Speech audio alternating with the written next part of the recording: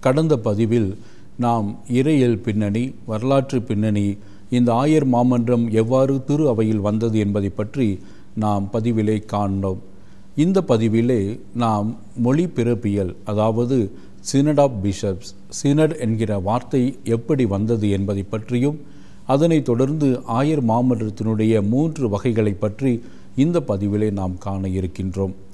மொழி பிறப்பியல் synod of bishops ஆங்கில வார்த்தை ஆயர் மாமன்றம் என்ற அர்த்தம் கொடுப்பதாக இருக்கிறது. இதில் நாம் பயன்படுத்துகிற சினட் என்கிற வார்த்தையை நாம் மொழி பிறப்பியலை பார்க்கிற பொழுது இரண்டு கிரேக்க வார்த்தைகளிலிருந்து இந்த வார்த்தையானது உருவாகி இருக்கிறது. சின் என்ற கிரேக்க வார்த்தைக்கு டுகெதர் அதாவது அனைவரும் சேர்ந்து. அடுத்த வார்த்தை ஹோதோஸ் என்கிற கிரேக்க வார்த்தைக்கு இதோ வே ஆர் ரோட் அல்லது சாலை அல்லது வழி என்று சொல்லலாம்.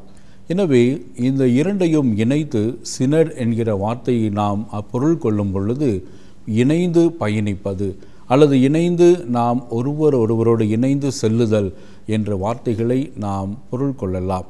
இந்த வார்த்தைகளுடைய பின்னணியிலே ஆயர் மாமன்றம் என்றால் நாம் இணைந்து பயணிப்பது என்பதுதான் அர்த்தமாக இருக்கிறது.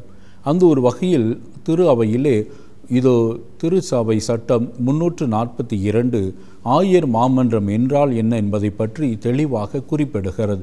ஆயர் மாமன்றம் என்றால் உலகளாவிய பல்வேறு இடங்களிலிருந்து குறிப்பிட்ட தேர்வு செய்யப்பட்ட ஆகியர்கள் இதோ ரோமை நகர் வத்திக்கானிலே ஒன்று கூடி ஒரு குறிப்பிட்ட கருத்துக்காக அல்லது குறிப்பிட்ட சவால் அல்லது பிரச்சனைகளுக்காக அவர்கள் அனைவரும் சேர்ந்து கலந்து ஆலோசித்து இதோ செயல்படுவதுதான் ஆயர் மாமன்றம். இது ஆயர்களுக்கும் திருத்தந்தைக்கும் இடையே உள்ள அந்த உறவை இதோ புதுப்பிப்பதாகவும் இந்த ஆயர் மாமன்றம் செயல்படுகிறது.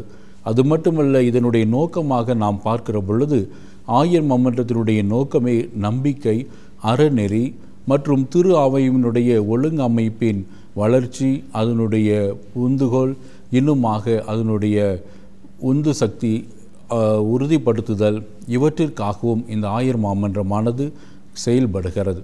இந்த ஆயர் மாமன்றத்தினுடைய இயல்பை பார்க்கிற பொழுது திருத்தந்தைக்கு இவர்கள் வெறும் ஆலோசனைகளை மட்டுமே வழங்க முடியும். திருத்தந்தை தான் இதனுடைய இறுதி வடிவம் கொடுத்து அதன் வழியாக தன்னுடைய முடிவையும் திரு அவைக்கு வழங்குவார். எனவே இந்த ஆயர் மாமன்றம் என்பது முடிவு செய்கிற அதிகாரம் கொண்டதாக இல்லை. மாறாக ஆலோசனை வழங்கக்கூடிய ஒரு குழுவாக நாம் பார்க்கிறோம். இந்த ஆயர் மாமன்றம் என்பது மூன்று வகையாக பார்க்கலாம்.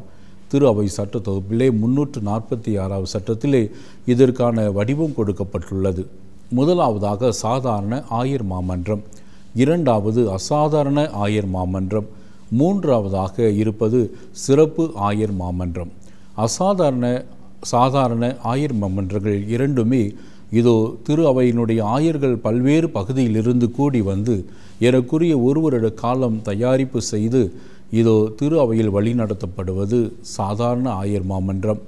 அசாதாரணம் என்று சொல்கிற பொழுது இதோ ஒரு குறிப்பிட்ட நோக்கத்திற்காக எல்லா ஆயர்களும் அல்ல அல்லது ஒரு சில ஆயர்கள் உடனடியாக வருவிக்கப்பட்டு அவர்கள் தலைமையில் நடைபெறுகிற ஆயர் மாமன்றம்.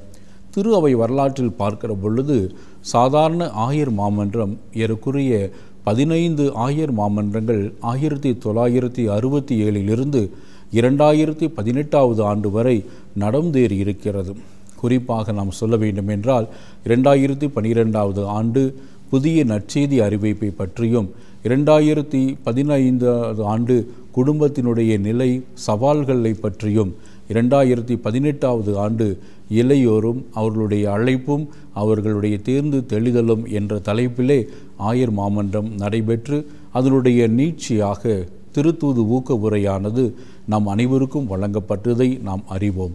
ஆனால் இந்த அசாதாரண ஆயர் மாமன்றம் ஒரு சில குறிப்பிட்ட கருத்துகளுக்காக நடைபெற்றது என்று ஏற்கனவே உங்களுக்கு சொல்லியிருந்தேன். அந்த வகையில் பார்க்கிற பொழுது திரு அவையில் இதுவரையிலும் இதோ மூன்று அசாதாரண ஆயர் மாமன்றங்களே நடந்தேறியிருக்கிறது. அதற்கு முத்தாய்ப்பாக உதாரணமாக ரெண்டாயிரத்தி பதினான்காவது ஆண்டு நாம் பார்க்கிறோம். குடும்பத்தை பற்றி அசாதாரண ஆயர் மாமன்றம் நம்முடைய திருத்தந்தை பிரான்சிஸ் அவர்களால் கூட்டப்பட்டது என்பதை நாம் அறிவோம். மூன்றாவதாக சிறப்பு ஆயர் மாமன்றம். இந்த சிறப்பு ஆயர் மாமன்றம் என்று சொல்லும் பொழுதே அதற்கு ஒரு சிறப்பு இருக்கிறது. காரணம் இது உலகளாவிய பிரச்சனைகளை பற்றியோ சவால்களை பற்றியோ அல்ல. மாறாக திரு அவையினுடைய ஒரு பகுதி ரீஜன் என்று சொல்லுவார்கள்.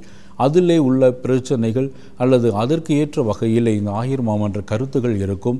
அந்த பகுதியை சார்ந்த ஆயர்கள் ஒன்று கூடி இதோ ஆலோசித்து ஆலோசனைகளை திரு தந்தைக்கு வழங்குவார்கள். அதன்படி திரு அவையில் இதுவரையில் பதினோரு ஆயிரம் சிறப்பு மாமன்றங்கள் நடந்தேறி இருக்கிறது என்பது பதிவாகி இருக்கிறது. உதாரணமாக இறுதியாக நடைபெற்றது இரண்டாயிரத்தி பத்தொன்பதாவது ஆண்டு. அமேசானை பற்றி நடைபெற்ற அந்த சிறப்பு ஆயர் மாமன்றத்தை சொல்லலாம். அல்லது நம்முடைய இந்திய திரு அவைக்கு முக்கியமானது என்றால் ஆயிரத்தி தொள்ளாயிரத்தி தொண்ணூற்றி எட்டாவது ஆண்டு. இதோ திருத்தந்தை இரண்டாம் யோவான் பவுல் இருந்த பொழுது இதோ ஏசியா திரு அவையை பற்றி சிறப்பு ஆயர் மாமன்றம் நடந்தேறியதை நாம் அறிவோம். இவற்றை உதாரணங்களாக நாம் சொல்லலாம். இவ்வாறு ஆயர் மாமன்றங்கள் மூன்று வகைப்படும். சாதாரண அசாதாரண சிறப்பு ஆயர் மாமன்றம் என்று அழைக்கப்படுகிறது. இனி வருகிற அடுத்த பதிவிலே இந்த ஆயர் மாமன்றத்தை பற்றி பதினாறாவது ஆயர் மாமன்றத்தை பற்றி நாம் சிறப்பாக பார்ப்போம்.